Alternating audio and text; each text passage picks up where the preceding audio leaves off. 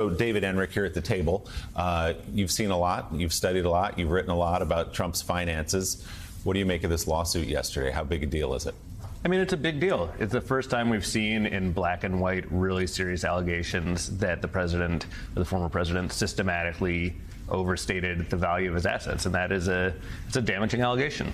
Is there anything in here that surprises you, having studied his book so closely? You know, it surprises me a little bit that just how directly involved he allegedly was. I mean, one of the kind of Trump's masterstrokes over the decades has been that he has maintained plausible deniability, whether by just not using email or just having layers of intermediaries between him and whoever he's operating with. It allows him to kind of wriggle out of things. But if you look at this lawsuit, the allegations are very clear that Trump not only had knowledge of what was happening, but was personally involved with or directing a lot of these activities. And as you know, a lot of this isn't particularly recent developments. This is like a long history of this.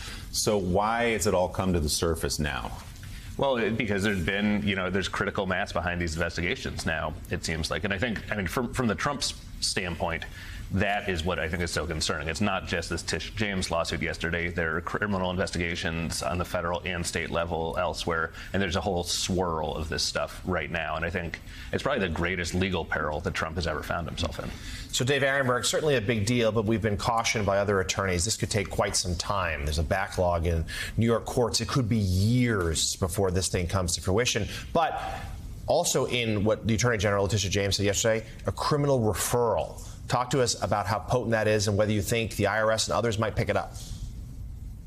Yeah, Jonathan, it, it is serious because the criminal referral could lead to charges by the feds. And don't sleep on this, the Manhattan District Attorney, Alvin Bragg. He has said in a press release that his investigation of these same matters continues. And here they had a division of labor. Tish James, the Attorney General, investigated this on a civil basis because she's limited on what she, she could do on a criminal basis. And Alvin Bragg, the Manhattan DA, was investigating this on a criminal basis. And remember, Allen Weisselberg is going to be sentenced to five months in prison for his role in a similar financial financial scheme. And so, yeah, that could be the future for others involved with the Trump organization.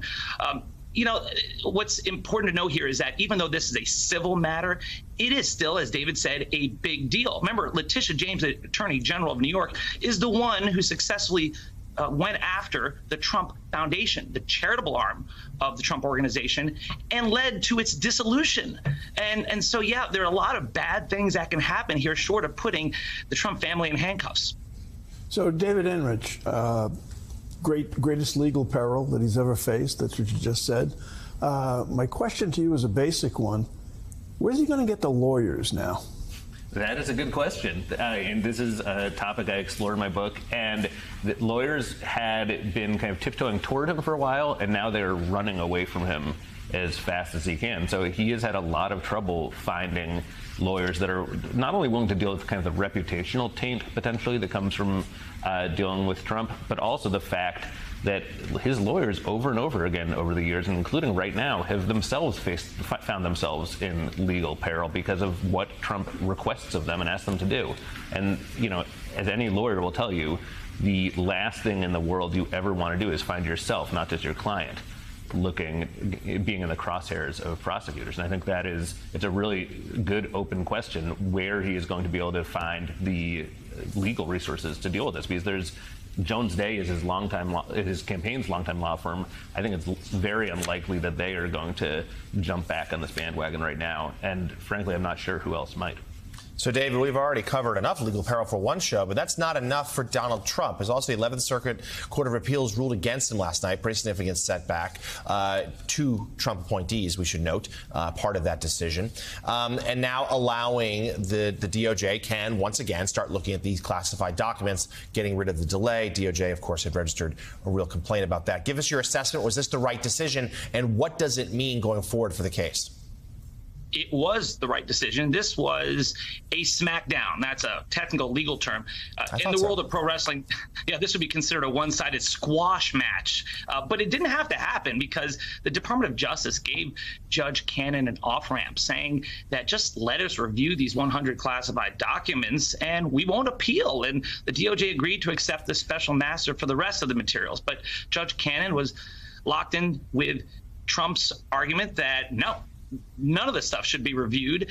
And she was reviewed by the conservative 11th Circuit. And you're right, two out of the three members of that panel were appointed by Donald Trump.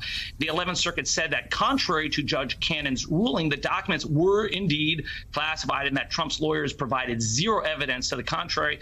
And it wouldn't matter anyway because a former president has no possessory interest in such government documents, whether they're classified or not. So this was an easy call as a matter of law, and this reversal will be a permanent part of Judge Cannon's legacy. And unfortunately, it had to come to this.